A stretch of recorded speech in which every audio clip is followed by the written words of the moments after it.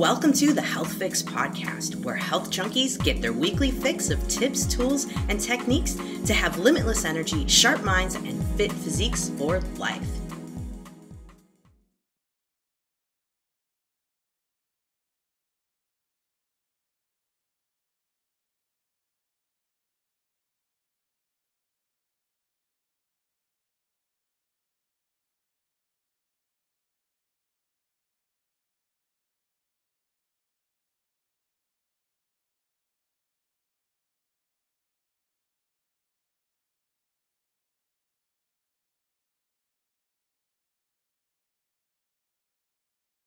Hey, Health Junkies, welcome to another episode of The Health Fix. I'm your host, Dr. Jannine Krause, and on today's episode of The Health Fix podcast, I have Kathleena, the allergy chef, back on. Now, if you haven't heard any of her podcasts before, she is a guru when it comes to food sensitivities, having over 200 food allergies herself, and I mean allergies, not just sensitivities, she has created a whole database to help folks just like her to be able to research recipes. And she's got a membership site as well, and we'll be talking about that at the end of the podcast. But today, she and I are diving into the things that you need to live healthy for life clean air, clean water, clean food, good medicine and movement. And we're going to be talking all about those guys. And we're also throwing in how the two of us would really like to help future generations to live healthier and avoid a lot of what's being programmed to us via television, social media, things of that nature. We're concerned about the future generation. And so today we're talking about that, but we're also talking about all of us in our 30s, 40s, and beyond, and what we can do to really get healthy, stay healthy for life. So, you ready for another episode? All right, let's get into the podcast. Hey, health junkies. Welcome to the Health Fix podcast. I've got Kathleena back, and today we're talking about the vagus nerve and how that has some really interesting connections to food sensitivities, food allergies, food intolerances, whatever you want to call it. Because let's put it this way a lot of people are stressed out. Wouldn't you agree? Oh, my goodness and when you get stressed out, what happens to your gut? Hmm. Stops working. Mm-hmm. Mm-hmm. And so we've both been seeing people on on both sides of of your work, my work, and seeing people with a whole bunch of stuff going down in the gut. I feel like more people now. It, I swear, since the pandemic, more people now have food sensitivities, intolerances, allergies that have like came out of nowhere with trash guts than I've ever seen before. Okay, so that's a whole thing, right? Okay, we're looking at multiple things here. We've got long-term root cause. I guess why don't we say pre and post, right? Uh-huh. Because okay. yeah. we've got pre-pandemic people and post-pandemic people. So I feel like our line in the sand is going to be about two to two and a half years, right? Mm-hmm. Okay. Mm-hmm. So for the people who are in the newer boat, I mean, here's the thing. They were told to stay home, so no mm-hmm. sunshine gyms were closed so we're not exercising we're not doing all the positive things with the body etc okay and i'm not saying you couldn't have exercised it's that a lot of people when they fall out of their routine it it just they kind of fall apart right mm-hmm. we look at short-term unhealthy weight gain most people were just eating for comfort at that point which not judging right mm-hmm. i mean it was a hard time I mean, it's it's a reasonable response to a hard time. But what no one saw coming was how long the time would be, right? Mm-hmm. Because had that had it just been a legit two weeks or even a four week thing, people would have bounced back, right? Yep. But they didn't. And so it was like this extended, extended, extended, and like you said, with stress, right? Because now we're looking at well, now we've got job losses, we've got economic issues, we've got health issues, and now we're depleting our own immune system and its resources. Well, of course, we're going to have problems, right? I mean, isn't that kind of the foundation of leaky gut itself? Yeah. Right. Weakened yeah. immunity, weakened barrier. That's exactly how it starts. I mean, it was a recipe for disaster. Oh, I mean, it, in so many different ways in so many different ways because now we have people who yeah you think when it's two weeks you're like oh sweet i'm getting all my snacks like like so you're snowed in. I mean i think a lot of people took the concept of like i'm snowed in so yeah. i'm gonna go get my snacks. When i went to the store i was like oh shoot i can pretty much still shop the same because nobody was getting the organic produce. Nobody wanted that. No i went down the aisle with doritos. I was like uh-huh. I see where we're at here. I, okay. I feel you guys. I know what's going on here but you know, you add stress and then you add all these foods that have a whole bunch of chemicals in them. Yeah. And now we get compounding situations. Yeah. We absolutely do. I mean, it's it's really hard because you know, I always say air, water, food, medicine, right? Those are the four key things that sets apart people who I mean, technically you could say a fifth one and say movement, right? Mm-hmm um, that's going to set apart the healthy from the unhealthy. Now, and that's going to be most situations. You're always going to have the outliers who were born with something and you've got the genetic conditions and that sort of stuff, which I'm not even going to focus on because that's a whole different topic. But for those five things, right? It's like when you look at people who live in the middle of nowhere, I'm talking like forest, third world country type stuff, right? They're not dealing with food allergy, food intolerance, mental health crises, you know, ADHD, every other diagnosis with a label. They're not dealing with that. They might have one or two people in the entire village that deal with it, but it's so rare, they have no idea what you're talking about. Okay. Well, then you switch over to a highly developed nation and it's the opposite. What's the difference? It's those five things air, water, food, medicine, movement. That's it. That's literally the only real things separating us, right? Now, do they have other illnesses that we don't? Of course, because now we're looking at the difference between, you know, hygiene and sewage and all that sort of stuff versus the other side of the world where it's totally different, right? Access to clean water, no act like, and it's yet it's still the same five things: air, water, food, uh, medicine, movement, right? They're not polluting their bodies with, you know, necessarily the same stuff that we are, and we look at those five things. If we keep just looking at those five things, it all adds up, right? I think one of the most scary stats that no one talks about, at least in my opinion, enough is how during the first, I want to say, year of the lockdowns, SIDS, sudden infant death, sudden infant death syndrome. Yeah, no, I think that's what. Yeah. yeah, that's how that's the acronym. Dropped by more than forty percent. Okay, forty percent. And the one attribute that linked all these kids they weren't getting the vaccines right? Now i'm not going to sit here and say don't get the vaccine. That's not my message. My message is more like shouldn't you be questioning what we're injecting into children?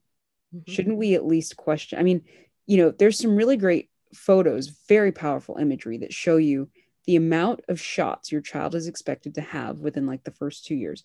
It's an insane amount of injections. Mm-hmm. you have to ask were they born deficient from all of those things?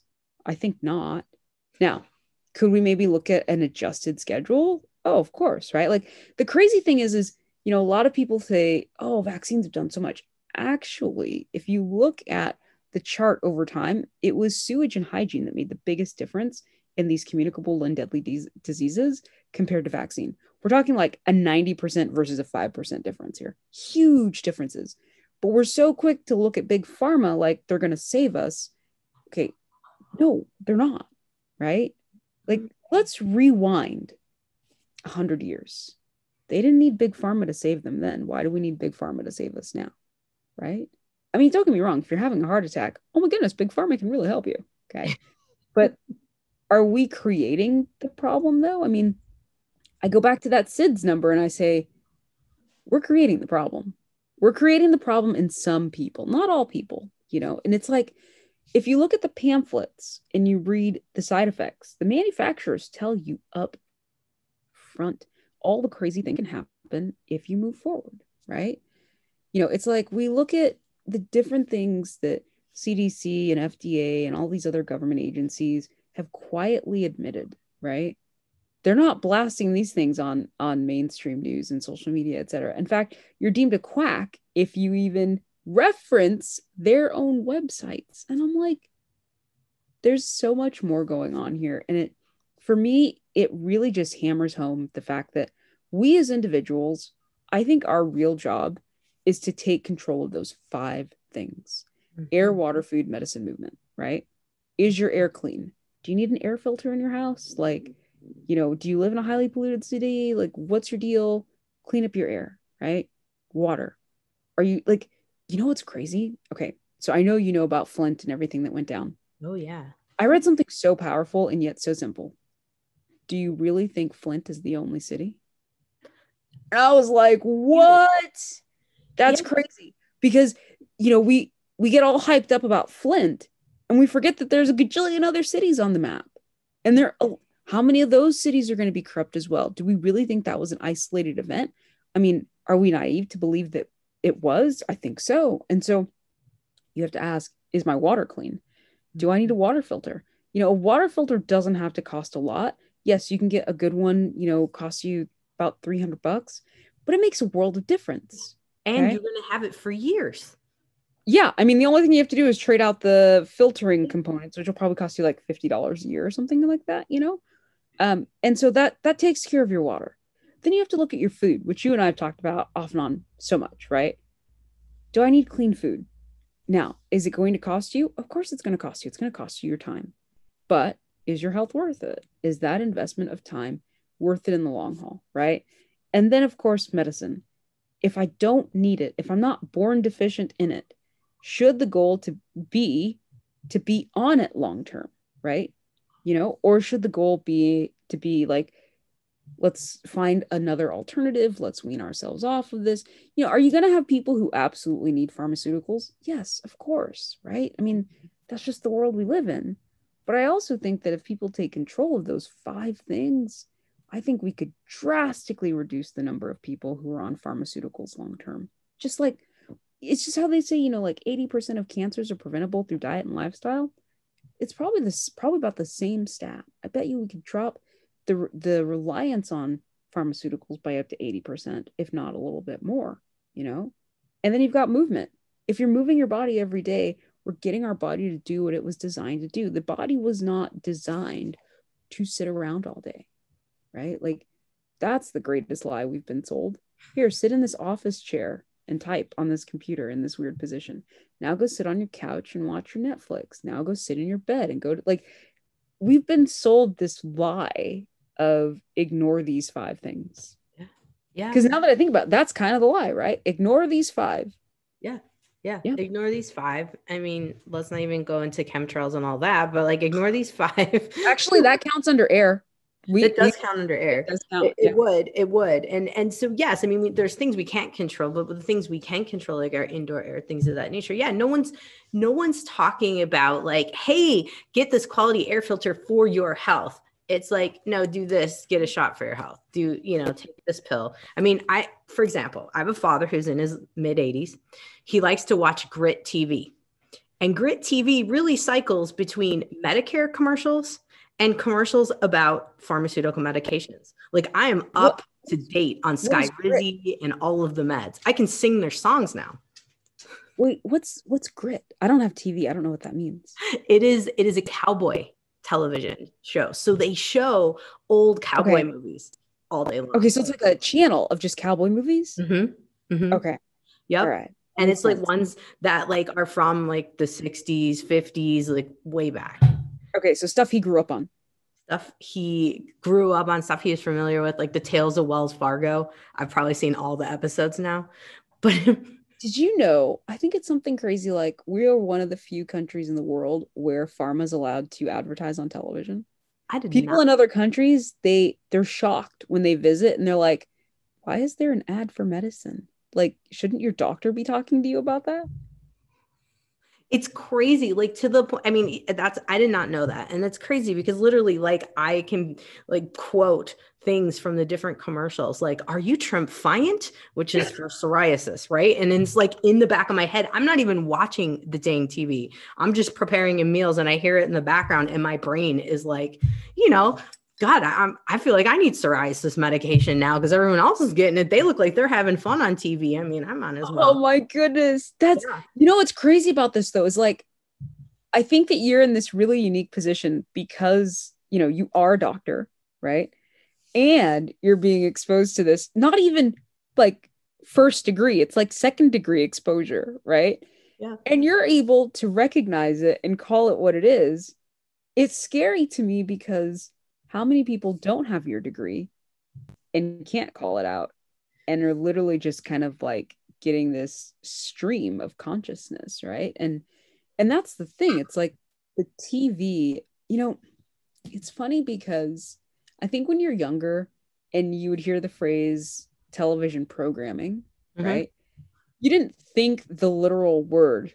And then at some point in your life, you grow up and you go, well, hot dog, they've been programming people, right? It's it's yeah. literally what it is. It's it's programming, right? They're telling you what to buy, what to think, you know, um, what opinions to form and um, what medication you need and and you're just like wait what and then like okay do i think people should relax and watch tv shows they enjoy? Of course i do. But you also have to know that there's an underlying message in those shows right? And what's crazy is okay so i have found that number there's a couple things. Number one at least about five or six years ago they would wait until episode three to start putting in questionable programming, especially in children's and families programming. Like they would wait knowing that parents wanted to see, like, okay, what's up? Okay, this seems good. And then they'd start dropping all the weird stuff. And you're like, whoa, I don't want my kid knowing that. Like, hold on, back up. Right. Um, and then I also noticed that there is a trend where, um, and it's only because I come from a unique situation where I'm I don't watch TV the way people most people do, you know, like I might download a thing here or there, but like the way I consume it and when I consume it, it allows me to see the patterns. And so you'll see that, you know, within a certain week, all the shows talk about the same topic or within like a two week span, right? You know, or within a three or four week span, all of a sudden, every documentary, at least from the US for the most part, they're all talking about the same thing. So it's like it doesn't matter where you try to escape to, for lack of a better word, it's the same programming, right?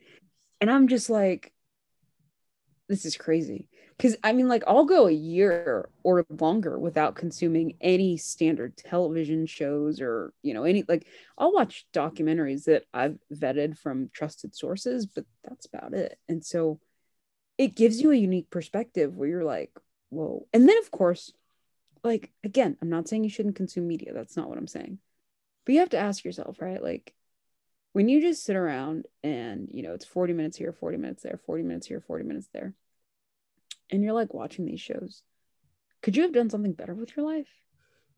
You know, like, even if you had just done something better in the background, like worked out on your bike while you were watching the the TV show. Or even or, the foot pedal thing that they advertised. oh, I didn't even know that was a thing. Exactly. Right. Yeah. Like, could out. we have done something better? But then then you have to ask yourself this, right? Going back to the word programming. A 60 minute television show is only 42 minutes long. And a 30 minute television show is only 21 minutes long, sometimes as long as 23. What'd they do with all the other time? They programmed you. That's literally what they did they programmed you, right? And this is where I go, thank you, mom and dad, for not having me with television when I was younger. So I don't have that that literally programming. I, I think they knew something then. Now my dad's just like, whatever, I want to watch my old movies. But um and and watches commercials about drugs. But yeah, I literally like never watched TV. So I don't now. I only get like my info. I'm only like cooking and like hearing it. But here's the crazy part though. Like you said, I'm not even in the circle of watching television. I don't pay attention to it much. So I'm happy that I haven't been programmed. But now it's like I don't even have to watch it. I'm just in the other room and it's still getting to me. Like yeah. all of that.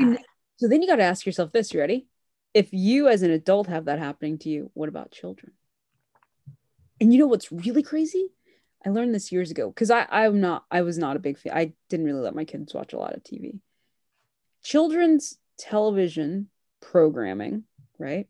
Mm-hmm. Depending on the channel, they purposefully design it to hold a child's attention. They did research years ago and found that by doing rapid cut scenes, so like cut, cut, cut, you know, every few moments, it would trigger a child's flight or fight response And depending on what your child watches, if you actually just stand back and quietly watch your child physically, it's like they're on the edge of their seat. It's because they're literally on the edge of their seat. It's they're dealing with fight or flight constantly. It's why the better children's programming, um, you know, you look at like, um, I don't know, I think it was called like Little Bill back in the day. It was like about some turtle or something, right? It's slow paced, it's animated, it's there's not a ton of bright colors, there's not a lot of flashing. Fight or flight isn't being triggered because it's like this nice, even movement that kids can just track and watch, and of course, get bored and walk away. Well, how did they stop kids from getting bored and walking away? They triggered fight or flight constantly. And I'm like, so let's think about this we're essentially hijacking their emotional response, their hormonal response. Gee, I wonder what happens after five years of that. What happens to their vagus nerve? What's happened to us adults after five plus 40 plus right many years yeah. of it over and over and over again when i think about all of the like pre-pharmaceutical things we should be addressing right because here's the thing i am not against pharmaceuticals. Like, in case I have not made that clear, I am not against them. I just think that like there should be a checklist, right? How much sunshine are you getting every day? How much sleep are you getting every day? How much clean water are you drinking every day? How much movement are we getting every day? How's your vagus nerve, right? Like, are we looking at the quality of food and, you know, how much stress are you under, right? You know, it's crazy. I don't know if you've ever experienced this. I've experienced this firsthand. If I am under stress, especially while eating, I am physically in pain. Like it's like I literally like my system comes to a crashing halt. Cannot process. Mm-hmm. Right? Yeah. No. How many people are, are going through that without even ex- without even realizing that that's what they're going through? I, I think it's extremely common because most people are either driving and eating, you know, working and eating, standing at the kitchen sink and dictating on the phone, you know, not paying attention to what they're doing and eating. And then maybe the the pain or whatnot, things are creeping in and they don't even realize it till 20 minutes later. Oh, no, Minutes okay, later. here's the crazy part. You ready? They realize it. And you know what they think about? They think about the commercial on TV that talked about that pain. That's mm-hmm. and and what mm-hmm. scares me is that I wish I were being funny, but I'm not. No. That's really what's going on here. And so we've just accepted that all these things are supposedly normal, I guess because we heard it on TV or something. And like the TV is not the authority, but we've made it the authority. Mm-hmm. Mm-hmm. No, there was like this commercial back in the day. I remember they were singing, and and only reason I remember is because someone sent it to me because they thought it was hilarious. But it was like for Pepto Bismol or something, and they're like, upset stomach, diarrhea, hmm, hmm, hmm, and it was like a whole song. And then it was it was for Pepto Bismol. If my stomach was hurting and I would have been watching that over and over, my brain would have been like, I need Pepto Bismol. Like it's not about, about the, one where the people were dancing. It was people, right? Yeah, and they were like, yeah, were like, yeah, yeah, yeah, yeah. I know what you're talking about. I know that commercial. There were a series yeah. of them, and you're right. Yeah, you're absolutely right. Yeah, I would have thought about that. I mean, shoot, now if I get psoriasis, I'm going to be triumphant. You know, I mean, good lord. And if I get HIV, I'm getting Cabenuva because that's like programmed in my oh head. And you just said it. It's programmed. It's in my head. That's it. Right now. But that's the thing. This is why I love talking to you because I want people to really hear like this is, I mean, I know better, but I hear it. And so you can hear me. I can repeat, like, shoot, you want to tell me 588 2 300 Empire? I mean, like, I can give you the, the commercial for the. Oh my carpet. goodness. I mean, me. I am like, and I don't even want that in my brain, but because it's it's audio that you hear and you're not even paying attention to it it's things that this is where I, I try to really hone in on people like i think a lot of food sensitivities truly come from our vagus nerve being stressed we're eating stressed and we're we're like programmed to be on hyper alert all the time like oh my god do i need to be triumphant do i have psoriasis? Oh my god what's going on my hair? You know like it's like it's like okay. a circle. Okay i was talking to a friend who also has teenagers and um, our kids are all about the same age. She was like i don't know about your kids but my kids and all their friends they're into this whole self-diagnosis thing. Mm-hmm. my kid comes up to me the other day and says i think i have bipolar disorder and i'm like and she says i say to my kid no, sweetheart, you don't. And I have to explain to her what it really is. And she's like, oh, you know, these kids are being exposed to do you have this, this, this, or this? I bet you have that. Do you have this, this, this, or this? I bet you have that. They're not being told like the whole story mm-hmm. or the extremes mm-hmm. that the symptoms need to be to be, you know, to have that illness. And so, not only that, but like I'm seeing this trend with today's youth where, you know, if if life has got them down for a week, they're like ready to jump off a bridge. Mm-hmm. Where's the resiliency? You know, like it's gone. And I don't even know how we as a society can even begin to tackle this problem, right? Because it goes back to those big five things, right? And these kids are just so lost and so programmed.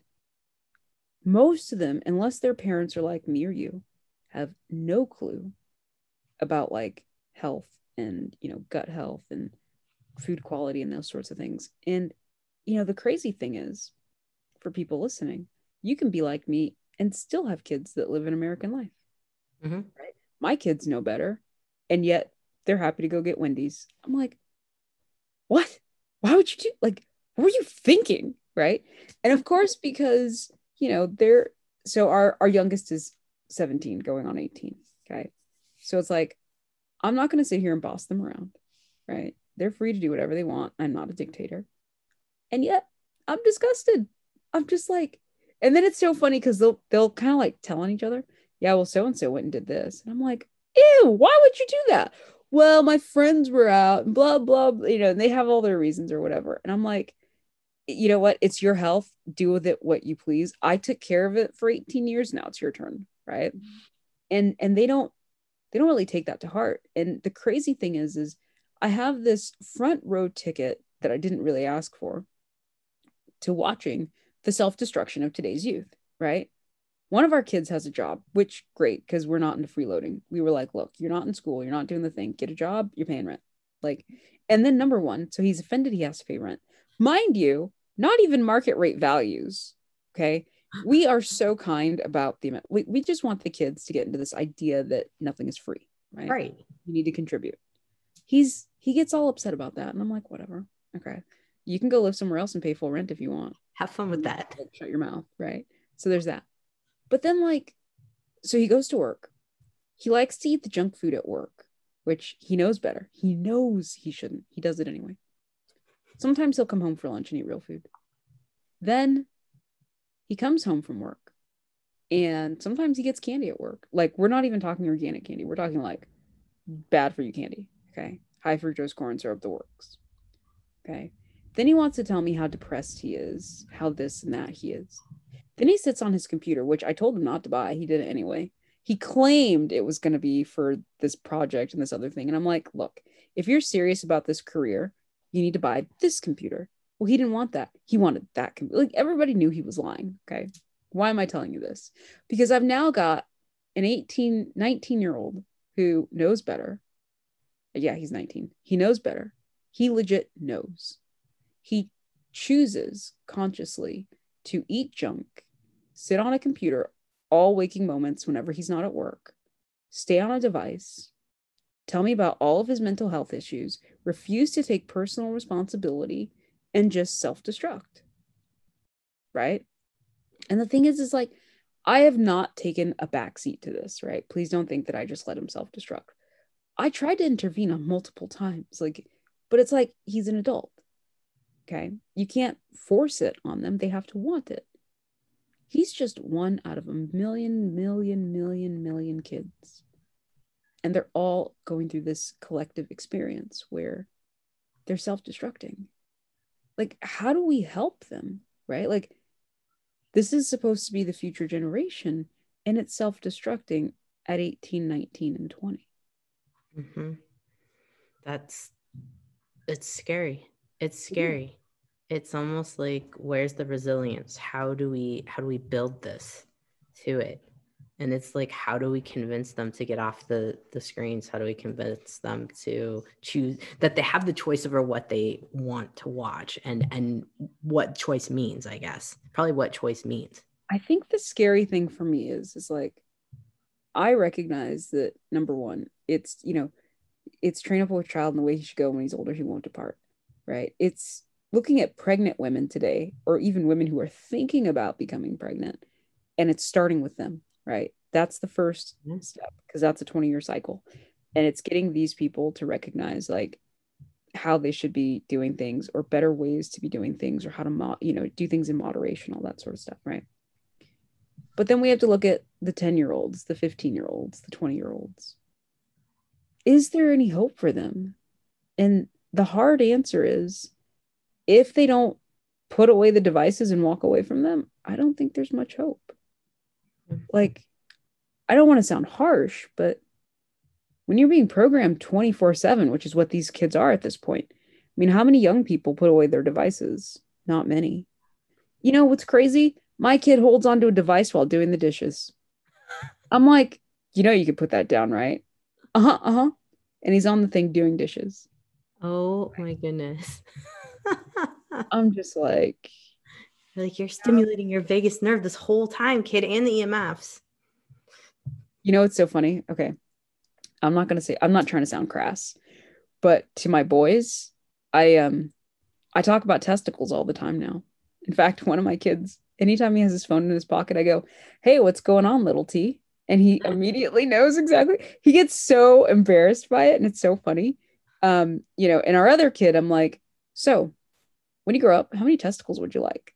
You know, and because the thing is, is like young men are at a higher, they're in the higher risk category of testicular cancer, right? And I try to drive home that point to them, like the choices you make right now are going to have long-term health effects, you know. And sometimes when they're standing in the room with their dad, I go, I say to him, so between the three of you, how many testicles do you think there will be in a room in about 10 years? And everybody just goes, oh my goodness, would you stop? And I'm like, hey, I'm just I'm just making the point, you know, and and that's the thing like I don't think we talk to our kids enough about the long-term consequences of everyday choices. Mm-hmm. Right? Those five things. Like are we talking like and then I was talking to a friend I'm like why what, what are we even teaching kids in school anymore? We're not teaching them to garden. We're not teaching them nutrition. We're not teaching them how to eat well, how to be well, how to take care of themselves, how to take personal responsibility. Like, what are we really doing anymore? And they were like, I don't even know. Math in a new way that no one knows how to do. That's that's all I've learned from friends that have kids. Like like I I don't even know. Like and it, and it kind of just brings us back to we as a society we absolutely have to start taking more personal responsibility and and i know that that's hard because we've almost been programmed again to think like we need all this support and all these resources and all these things. And and yes we do. And at the same time like sometimes if you just step outside and walk in nature a lot of what you need is already right there just waiting for you right? Like look at the birds. Like they don't need the internet right? They seem to be able to find each other just fine. yeah, like they're they're doing okay mm-hmm. but we're not. You know like it's oh man as a species, man, we have messed up. Mm-hmm. Yeah, yeah. No, I mean, I, th- I think going back to basics would be so so ideal, and and really kind of that's one of my points for folks when they're like, well, how come I keep having all these food sensitivities? Why can't I get rid of them? Why is my gut staying trash? Why, you know, why do I keep it getting sick? And it's like, because stress inputs, your stress inputting. Can we tell everywhere. people? I mean, I feel like we need to say this out loud. You cannot supplement your way into better health. No. No. I think it's a misconception that you can. Well, half I think people think you can supplement and pharmaceutical size yourself into better health. No. No. You can't. You can't. Well, in, in the supplements, I mean, half of them are owned by pharmaceutical companies now anyway. So mm-hmm. now we have a whole nother conundrum. And well, and the, the fact that some of them they're trying to like ban because of uh-huh. course pharma can't make money off of it. And I'm like, Go figure. You know. No, no we got to be starting giving them all this control and power. Number one, we shouldn't be, but why aren't we taking it back for ourselves? Because we should be. You know, like we should be saying, you know what, I want X, Y, Z. You know, I want longevity, or I want to wake up and not have pain in my joints. Right. I want to wake up and not have headaches every day. like healing is possible. I feel like you could tell me on TV, do they ever talk about like that healing is possible, that you have the power? Okay. Yeah. Pretty sure I've never heard that unless you, you're watching a specific programming. Um, Got it. And, Okay. and even then, usually those programs are sponsored by someone who's trying to sell you something, unless it's a documentary. Wow. No, no, there's, I've never heard it about healing is possible. It's usually like get Medicare Part B or D or C and just enter your zip code and we'll tell you exactly what you're going to get. But no, there's no like, hey, food, water, movement, air, you know, none of the basics. I, I'm I'm kind of quietly shocked. I don't know why I'm shocked. I I know I sh- like logically I know I shouldn't be, and yet I still am because what are we doing?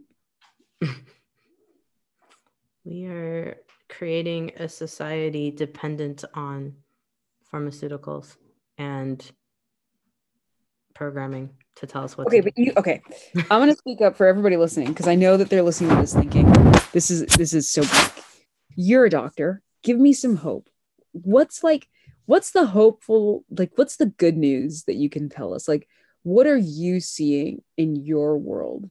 Because I know for me, like in my on my side of things, I'm seeing more people start to wake up a little bit. And yet at the same time, I'm still people see I still see people saying, "Are McDonald's burger bun's soy free. And I'm like, just stop talking. Like, just stop. but like, what's the hope? Are are people more open to taking responsibility for their health? Like, what's going on in the world? Your boots on the ground. Tell us. Yeah.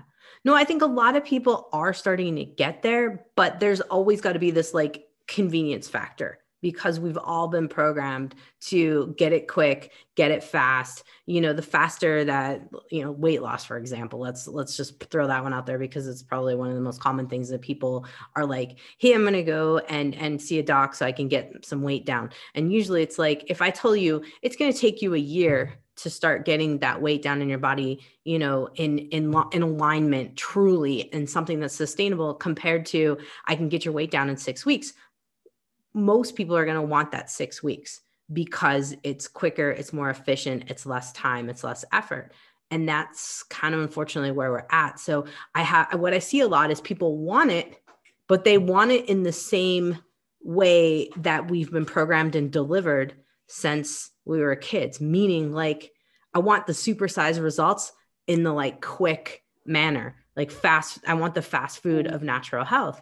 And as much as i wish that i could give that to people you know we're, we're looking at people who are 40 I, I see a lot of folks in their 30s and 40s we got years to undo of different types of things. And so you know i think a lot of people are open to it but the long term the long term outcome is is not as attractive because we've been programmed to believe that things need to happen fast.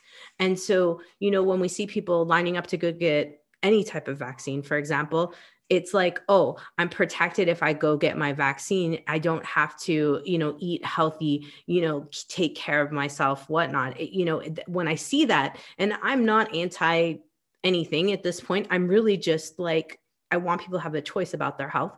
But i'm also like think about vaccine versus actually putting in the effort to be healthy. Wouldn't you ha- like to have the like actual effort and and the sustainability of something that you know by being you know in doing all the things you can to be healthy like the clean air the clean food the clean water You know, like that the crazy thing is, based on what I see in my little world, Mhm. and I'm including my kids in this. No, they don't. They do not want. You know, it was so funny. One of our kids is trying to convince us that he took this job because this is what he wants to do with his life. But then he goes and says, Yeah, I did it because it was easy. It's an easy job. And I'm like, Okay, so the truth comes out. You just want money for nothing kind of a thing, you know? And and it's like I want to believe I raised them to be better than that, but I'm fighting the programming, right? Mm-hmm. And one could argue, like, well, why not just take away devices? Listen, I didn't give them devices for most of their lives, right? but they have friends. They're not stupid. You know, they're kids. They get around, you know, they go to other people's houses and they're exposed to things that you wouldn't choose to expose them to. And then then they get their own money and they do their own thing, right? And so it's hard because I, you know, I was going to ask you what's the fix, right? But as you're talking, I'm thinking there isn't one because she's you're you're hitting the nail on the head. People want this quick thing, not a long-term thing. And it is part of the programming, right? Because that isn't that kind of what pharmaceuticals are all about too, right? It's like programming you into thinking that you'll take this magic pill for lack of a better word and you'll see these results within a certain time frame. And so I think that's really what, you know, you look at society, it's like people A or people B, the have or the have nots or whatever. It's like, I think you just have the motivated and the unmotivated. Mm-hmm. Yeah. Like that's kind of what it boils down to because, you know, even people who are motivated for the wrong reasons are still motivated, right? um, yeah. And that's what we're lacking. Like we're lacking drive and motivation and going back to that personal responsibility element. Because even if you don't have the education, right? Even if you take a kid who's grown up for 20 years not knowing like about food nutrition health etc but they're motivated they'll learn and they'll adapt right mm-hmm. but then you take one of my kids who has all that knowledge who's not motivated and guess what they sit on their butt yeah. it doesn't yeah. matter if they're not motivated they're not going to do anything and this is where sometimes that motivation has to come from something happening which is why you'll see the folks coming to you with the food sensitivities and tolerances and allergies and folks coming to me because they don't know what else might help with the chronic pain chronic illness. You know they've seen every doctor. pops out and says i'm done. Mm-hmm. and that's when people finally wake up. Goodness it's a shame because it's almost like they're waking up too late. Like how many people could have prevented so many issues if they had woke up a year before? Mm-hmm. six months before even heck, even three months before, right? When their body's still just hanging on by a thread, you know, I, I, can see like their immune system just barely hanging on. Like, we we can do it. Just just make this one little change, and you know, right? Like, how many people could have been spared? Like, it, it's, you know, what it reminds me of? It reminds me of celiac disease. You know, mm-hmm. you can carry the gene for celiac disease but not express it most people are diagnosed with celiac disease in a certain age range. Mm-hmm. It's about 21 to 33. And the reason why, those are literally the most stressful years of your lives because that's when you are going to college, moving multiple times, having children, you know, getting married, you know, changing jobs, all these highly stressful things. That's when the gene expresses itself because you're under all that stress. Mm-hmm. Like it, that's exactly what we're dealing with right now. It's true.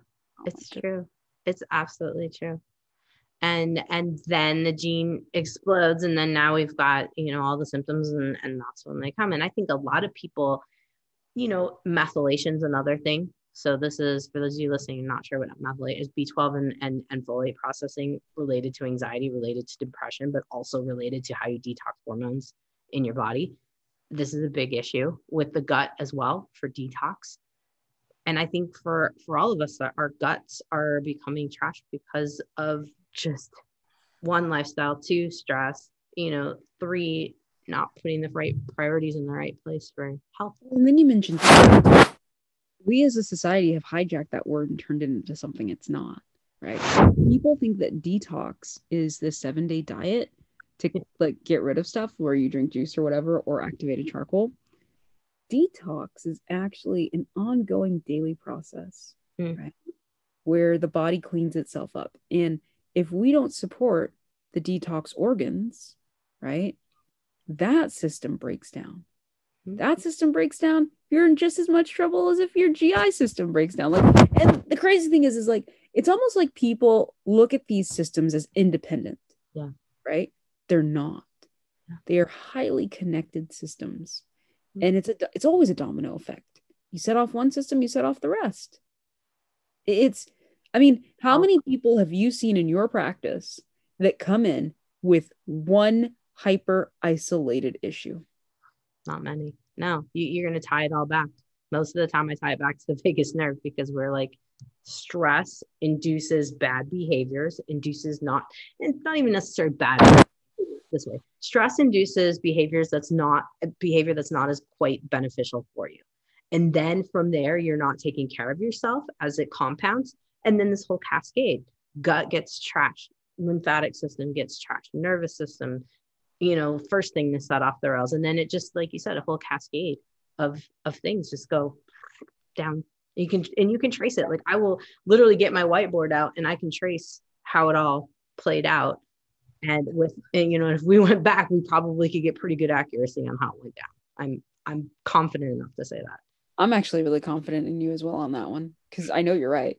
Like you're absolutely right. And you know, it's it's crazy to think that this is happening in real time to so many people and they're not looking like I don't want to use the word inward, but that's kind of the word that I'm leaning towards. Like, you know what it is? They're not looking at those five things. Mm-hmm.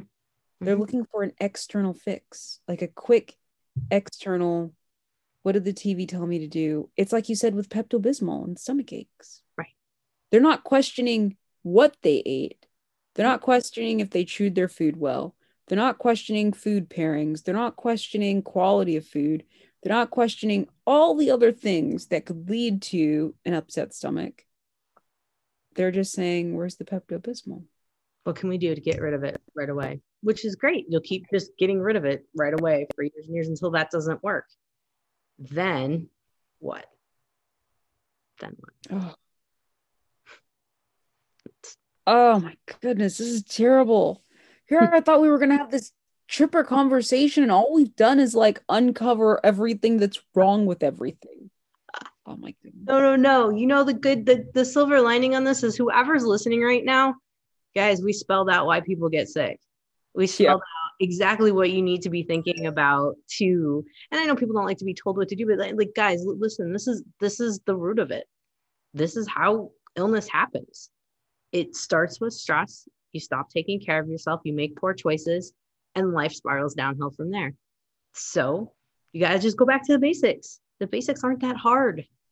They're not that complicated. Well, it's not just that, but like keep in mind 80 20, right? Right. And and back like you let me know, is there a better percentage? Because I think a lot of people who are on the outside looking in or who are new to all of this, they they think it's an extreme change, right? well, I can never have XYZ again. I can never do this again. I can never, never, you know, they think about all the, and I'm thinking, no, it's not that you can never have Doritos again. It's that you should eat Doritos once a week. Like you should have, like, and here's the thing though, you can't say you should eat ice cream once a week, Doritos once a week, hot dogs once a week, chips once a week, nachos once a week, um, you know, a greasy burger once a week, a milk. Because if you do all those things once a week, you're basically where you started right? We're talking like one to two meals a week that encompass the things that you want to keep around the Doritos and the greasy burgers or whatever. Yeah. You know, if you do the 80 20 lifestyle, I feel like you're going to see a huge improvement. Absolutely. Absolutely. And really, what it boils down to, back like what we were saying before about the detox, if you can help your body to detox on a daily basis, not when you go and you party and you're like, oh crap, I need a detox because I went nuts. No, mm-hmm. you're thinking like if you can get, if you are working on clean air, clean water, clean food for most of the time, your body's naturally going to help. Like it's going to be cleaned out enough and detoxing on a daily basis that when you give it a little bit of a hit, like the Doritos, or you give it, you know, a greasy burger, you know, it, it's going to rebound from it. Granted it can be like every single day of something new you know because then you're going to end up where you started. But if your body's great at detoxing on a daily basis you can adapt to the things in life that stress it out yeah well and we can't forget that movement element right because like the lymphatic system which is a core part of the the body's natural detoxing it doesn't have a pump you are the pump mm-hmm. don't move it doesn't move right i think a lot of people don't know that I think that's a huge. I'm glad you mentioned. That. Okay, so that's why I'm so mad. That's why I'm like, what are they teaching kids in schools today? Did they tell them about that? I don't think so. Right? Like, what are you actually telling kids these days? Because kids don't know this stuff. Mm-mm, mm-mm. No. You know, and, nope. and parents aren't necessarily telling them, right? No, really, in health class, all I learned was how not to get pregnant and if I did, what to do. And then, like, literally, I was like, oh, I have all these resources. If I get pregnant, great. That's not happening, but okay. But you don't learn. I mean, you learn stuff you already figured out, like in eighth grade in high school, you know, health class. You're like, oh, awesome. Thanks for Don't being- okay, you know what? Don't even get me started on the dumbing down of the educational system because I know you saw that CDC thing recently where they lowered the standards and everybody's all upset about it. And I'm like, this is, this is exactly what's wrong, right? Like we are lowering lowering the standards. And I think that's why to me the solution is, and I'm not saying, you know, you know, unfortunately we can't help everybody else, but it's just going to be a harder road. We have to start looking at people who are thinking about becoming pregnant or people who are pregnant. And we have to start with them. Yeah. Like this this has to be like this massive grassroots change because i think like we blew it with this generation. Since mm-hmm. world war ii like you look at the introduction of convenience foods and tvs and advertising in the home we've blown it big time right? So there's like this 70 year thing from mm-hmm. then to now where my goodness i don't know how we help all these people. We are the sickest we've ever been, right? We're the lowest educated we've ever been. You know, like you hear tales from your grandparents about how their parents with sixth grade educations could run successful businesses. Show me a sixth grader who can do that today. Right? Few and far between. And and so we have we've blown it. Mm-hmm. Okay. I don't know how we fix it with the older generations. Like anybody who's basically eight years old and up, I don't know how we fix it. But for the eight and unders, man, we've got to go all hands on deck. We've got to change this for their sake, right? Like we have to. We have to turn this ship around. Mm-hmm. Mm-hmm. Yeah. All of you guys who are listening who have grandkids who have kids in this age range, I mean, this is the most, let's put it this way, moldable age range where you can influence. And since we already know the school's not going to do it, it's you know it is on us to and, and and exposing them to certain things. I mean, I kind of you know the dumbing down of our education. I'm kind of like, let me think about this a minute. I was in like AP all the smart kid classes, right? Yeah. But the thing is, I I couldn't I can't work on an engine. Like I my dad had to teach me that outside of school. I knew how to cook because my grandma helped me with it but there's a lot of people who are in the same ap you know smart kid classes that like let's put it this way common sense not there for me when i when i got out of high school. I was kind of hindered. I wish that there would have been classes where literally we learned about clean air clean water you know without an agenda because unfortunately without an agenda. That's the key. Yeah. agenda and and you know of that everyone knows what the agenda is but that kind of stuff you know i I wish I would have learned about the the health basics because there just wasn't that kind of thing. And I think if there would have been like a home economics class that they were like, no, no, no, you don't need to do home economics. You need to be in like AP English. Great. Listen to me now, English teacher. I am sure you're pretty proud of my English skills. You know what we should almost do? Okay, number one, obviously you and I should revolutionize the education system. Yeah. But I almost feel like number one, um, kindergarten and first grade needs to be completely overhauled we should be teaching kids way different things. But then I almost feel like a se- the senior year, we should revolutionize senior year. Mm-hmm. Let them take their AP classes and do all the things. I did, I mean, I was done with college at 19, right? I am a smart kid. I get it. Okay. I was driven to be done. I get it. But if senior year were dedicated to how to start your own apartment, how to um, change a tire, how to do like all the things, you know, and like you said, without an agenda, because let's be honest, if we don't put in that phrase without an agenda, you know, Big Pharma and Pepsi Cola are going to roll up and create the curriculum for us. Okay. So, like, how to do these things, you know, how to write a resume, how to get a job, how to do all these things. Mm-hmm. And that's all you do for senior year. Imagine how much better society would be because of it. I think it'd be huge. I think because I think that's where a lot of the meltdowns are coming from because you're not prepared. Like, even getting out of, for example, naturopath school yeah, they our business development was like, here, listen to all these Tony Robbins videos. And we're all like, like, that's great. The motivation side, it's wonderful. But like I need the systematic. and yeah. and so having the systems and understanding systems understanding your thought process understanding mental oh, mental critical health. thinking do you realize they don't teach critical thinking in schools anymore i did not know that okay they're basically teaching kids to just sit down shut up and read right they don't teach them critical thinking the hows and the whys and like the analyzing right like there are so many skills being lost in education right now oh, there goes another one, right? Like while we're sitting here and talking, these critical skills are just going out the window. Like it's scary. It is so scary. Oh my goodness. Oh my goodness. What are we going to do? I think we're starting our own school. And then- you know what's funny? I actually wanted to. Um, I have been thinking about starting my own little academy in the middle of nowhere um, where people can join and and the funny thing is, is like I wanted it to be like zero to six ish in terms mm-hmm. of age range. And I really wanted to make it so that parents had to go to like mandatory classes where they learn about, you know, grounding and sunshine, basically those five things, mm-hmm. and how to incorporate that into their children's lives. And of course, encouraging people not to bring devices into their child's life. You know, it's a lot of people don't know. Um, up until the age 12, the brain is not really wired for electronics. Hmm. What we are doing, this is the first time in human history where we are essentially hijacking and rewiring people's brains at a massive scale. And we have no idea how it's going to affect them long term. But here's what I will tell you we've got more obese kids, more depressed kids, more kids with anxiety, more kids who want to jump off of a bridge. And, and it's like you cannot ignore the lifestyle that we have kind of shoved onto these kids. Right. They didn't ask for this. We gave it to them. Yeah. Right. Mm-hmm.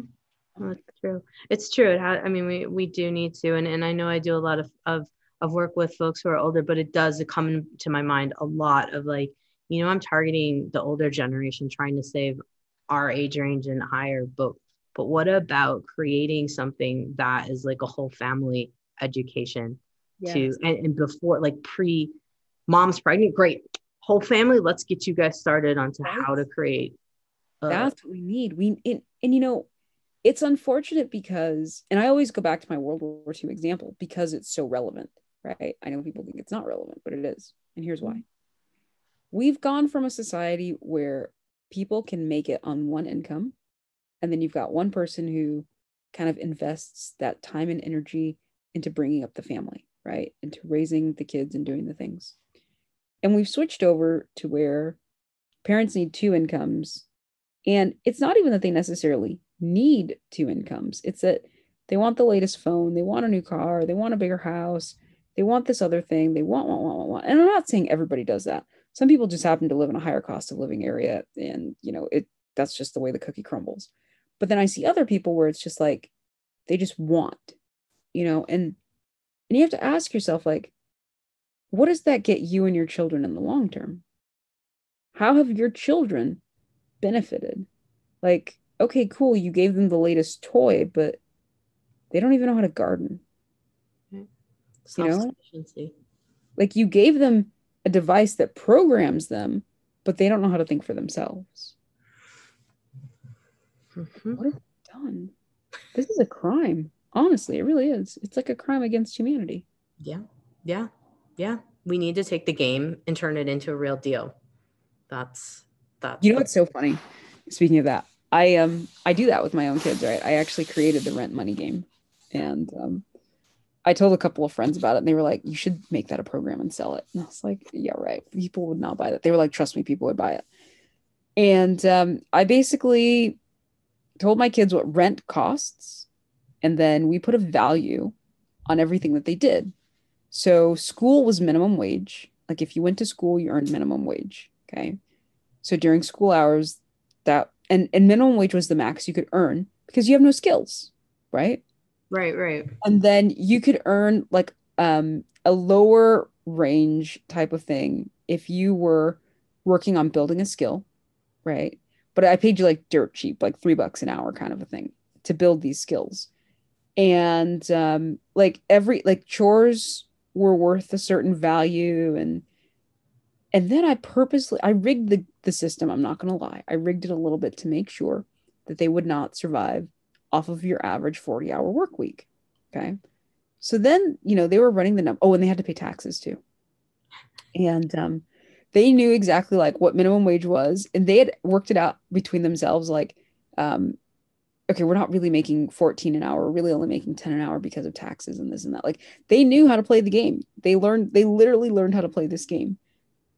And then they would start figuring out how to game the system. Well, if I just do extra schoolwork and not do this other thing, I'll make more money, you know. And they had figured out like how many hours they had to work on a Saturday to make rent, and and that became, you know, rather than nag them about like chores and things for this went on for months. You know, their father and I, all we would say to them was, "Have you made rent yet?" And they knew what that meant, and they got on top of everything because it made everything real, right? Like all of a sudden there were these real consequences. Oh, and they didn't get sick pay. So at one point, somebody got sick, and I was like, well, you better figure out. Oh, and you're going to love this. You ready?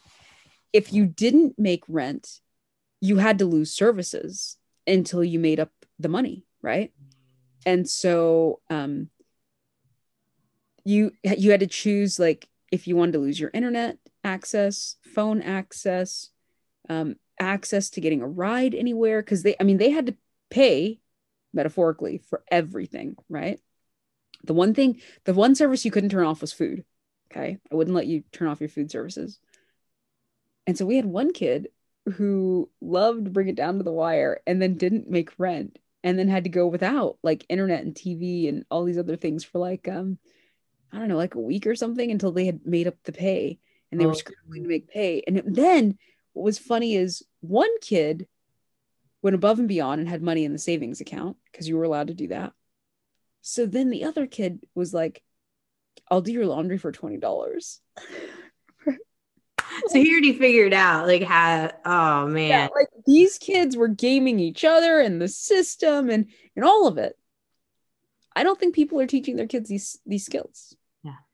Right? Like this is this is what's being lost. And and it's a shame because there's so much right? And it and it goes back to those five things in the vagus nerve like we aren't teaching these things to kids.